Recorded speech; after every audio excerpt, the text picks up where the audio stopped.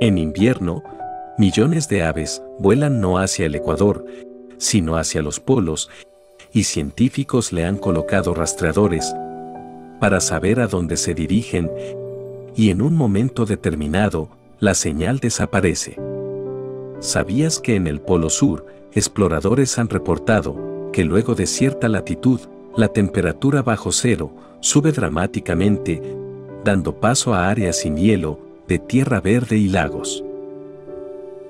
Estas extrañas evidencias de regiones más cálidas indican que el Polo Sur y el Polo Norte tal vez contengan secretos que los humanos aún desconocemos.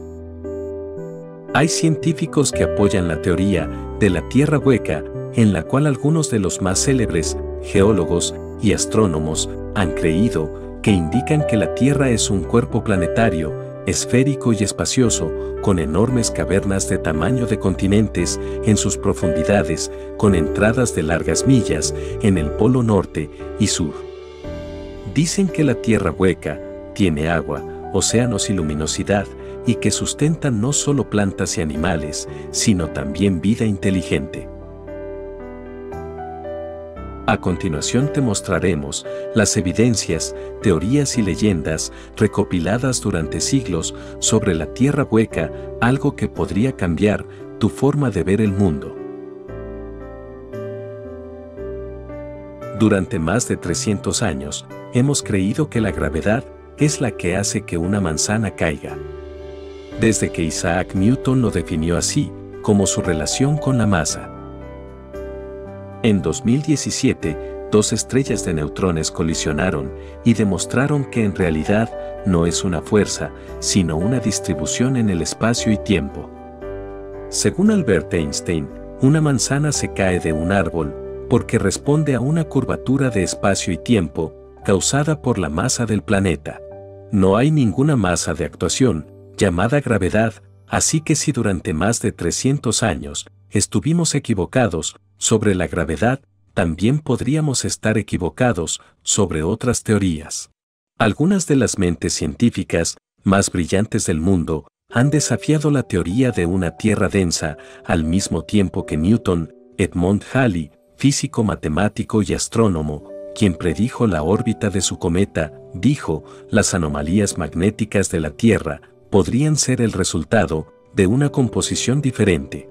Él creía que debajo de la corteza de la Tierra habían capas concéntricas muy gruesas, y que cada región tenía su propia atmósfera y que probablemente fuera habitable. Si esta teoría te parece absurda, mira estas imágenes que publicó la NASA mostrando el polo norte de Saturno con los mismos campos de rotación contrarios que Halley describió. Y en este extraño video de Júpiter puedes contar hasta 15 de estos campos de rotación contrarios. Halley también mencionó que los polos podrían tener acceso a la Tierra hueca y que las auroras boreales era resultado de la luz emanada de estas rotaciones contrarias. De igual forma, como ocurre en las imágenes de estos planetas. Observa bien este video y mira cómo se ve un punto oscuro en el planeta del cual parece emanar las auroras boreales si marcamos un punto en el planeta exactamente en el punto del polo sur.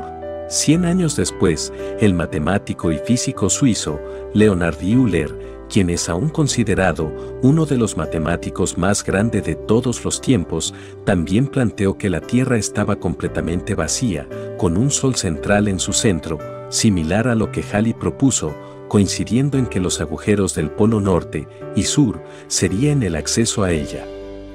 El matemático más influyente de Alemania, Johann Karl Friedrich, a principios de 1800, indicó toda la historia de nuestra Tierra, su física y geografía, podría explicarse si la Tierra fuera un planeta hueco, con entradas en los polos.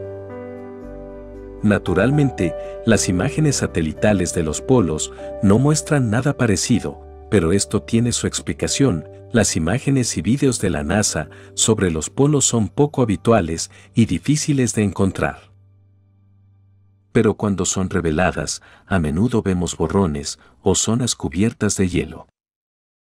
Y por si fuera poco, ningún avión o satélite tienen permitido acercarse a cierta distancia de los polos. En noviembre de 1968, una foto satelital del Polo Norte fue publicada mostrando una gran entrada polar en la zona que no había nubes. Es posible que algún truco de la fotografía o error haya creado esta ilusión.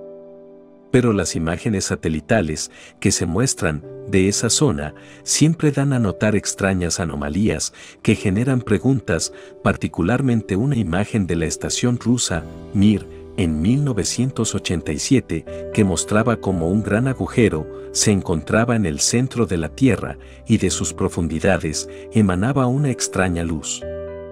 Luego, la NASA publicó imágenes de otros planetas con las mismas características. Venus, Júpiter y distintas lunas. Todas las imágenes mostraban algo similar. Estuvo en lo cierto Edgar Allan Poe cuando dijo, algunas veces el mejor escondite es aquel que está a simple vista. Pero nos genera más preguntas cuando ocurre un terremoto. Olas sísmicas son medidas mientras ocurre, pero luego las señales desaparecen por completo y aparecen más adelante. Se cree que estas zonas ocultas son los resultados de olas golpeando un núcleo derretido. Y existen muchísimas teorías matemáticas del por qué, pero hay muchísimas inconsistencias con las lecturas sismográficas porque no es una ciencia exacta. Así que, considerando todo, podría ser que la solución más simple es la más exacta. Es posible que las olas resuenen en una zona tipo cinturón, pero que desaparecen en enormes cavernas o en mares subterráneos, millas adentro de la corteza interior de la Tierra. Sería esa una explicación muy simple. Si la posibilidad de océanos interno parece extraña, entonces toma nota. El primero de los agujeros, más profundo, alguna vez perforado en la Tierra, fue en Rusia, en los principios de los años 1970, y tomó 20 años en hacerlo. Como es costumbre, cuando los humanos se aventuran a lo desconocido, Cola dejó algunas teorías científicas en ruinas, descubrieron calor sin precedentes, fósiles a 8 millas de profundidad, y el resultado sorpresa, agua. Los modelos actuales del interior de la Tierra no son hechos, son teorías pero podemos observar los hechos que si conocemos. Cada continente tiene conexiones extensivas de cavernas. Gruta de Sun Dun, en Vietnam, con junglas, ríos y espacio para dar cabida a un rascacielos de 40 pisos. Y la cueva del mamut, en Kentucky, el cual mide más de 400 millas y es la cueva Concordia más larga del mundo.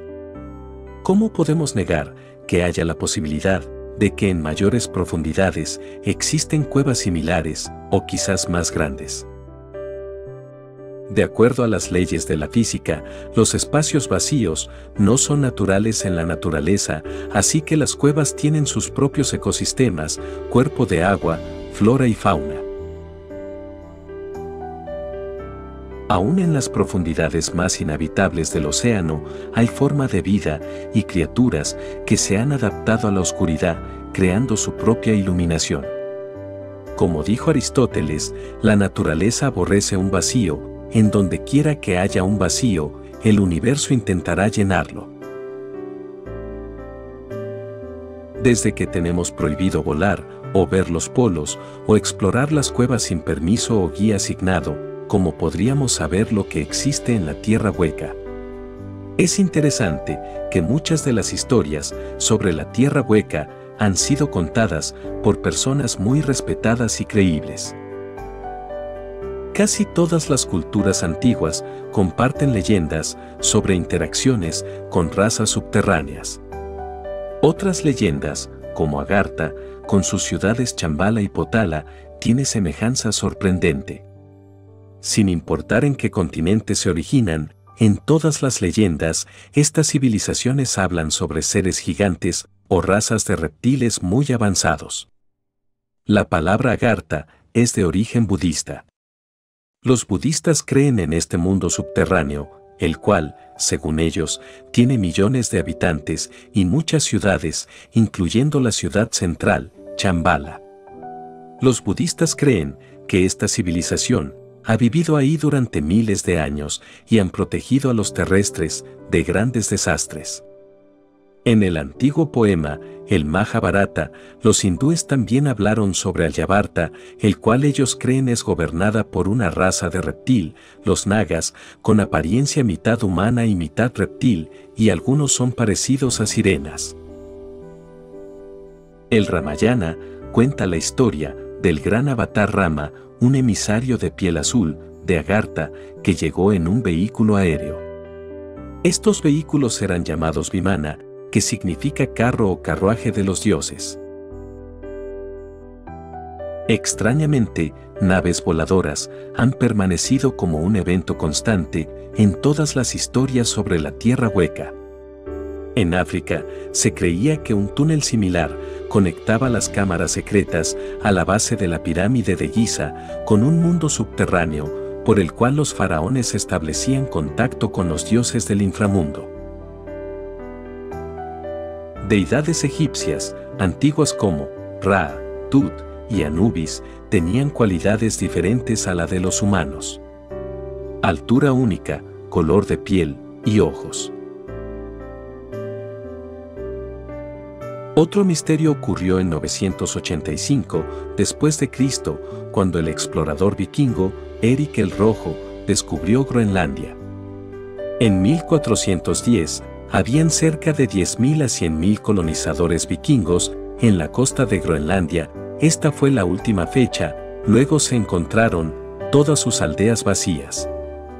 Sin una explicación lógica, habían desaparecido y sus desapariciones se ha convertido en uno de los misterios más grandes sin resolver en nuestra historia actual.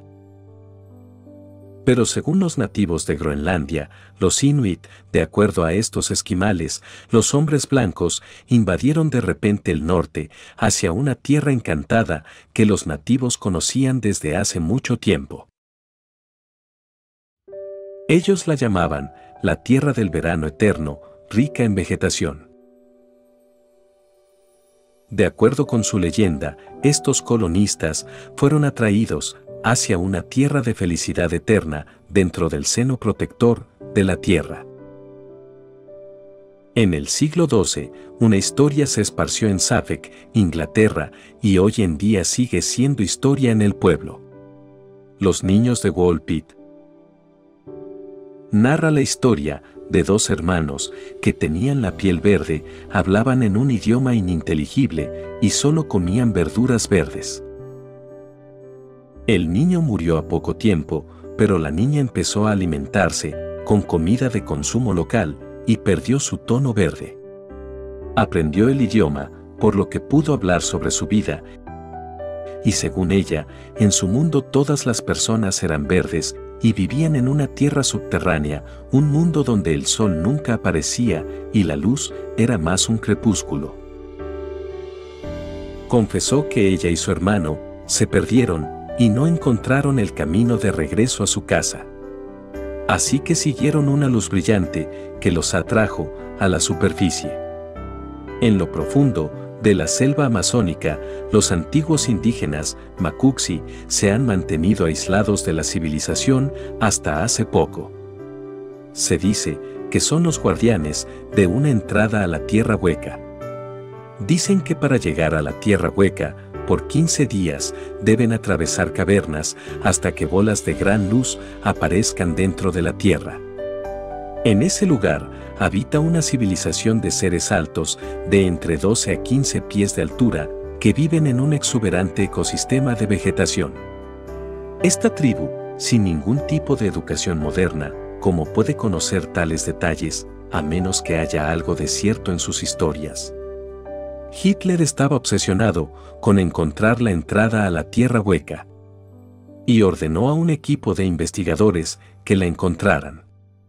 Tiempo después, un submarino alemán, comandado por Henry Brodin, alegaron que habían encontrado el interior de la Tierra. Incluso que ellos no querían regresar.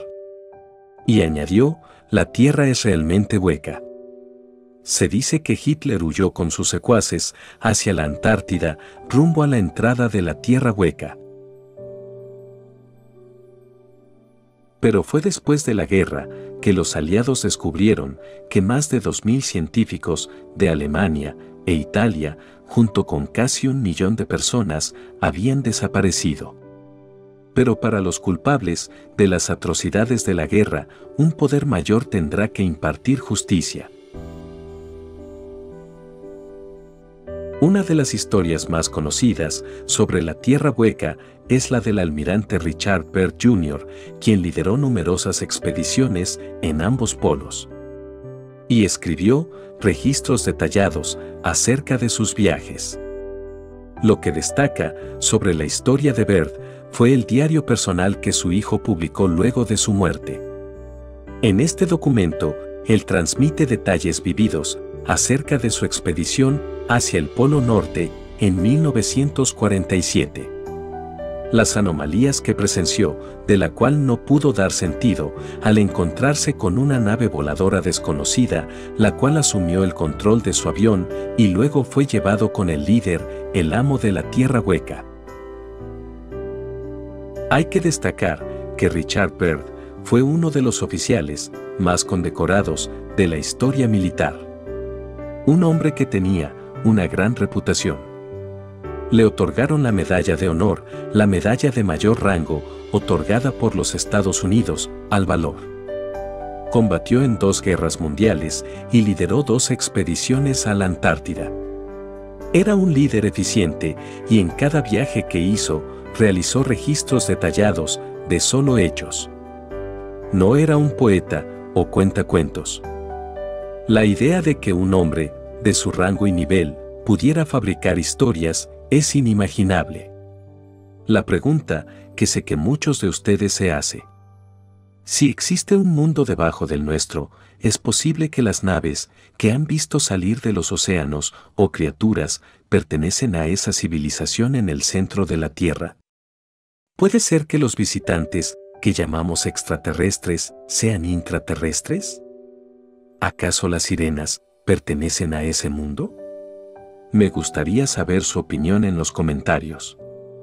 Si has llegado hasta aquí, muchas gracias. Espero que nos sigas y actives las notificaciones. Regálame un like y hasta un próximo video en Historias y Misterios.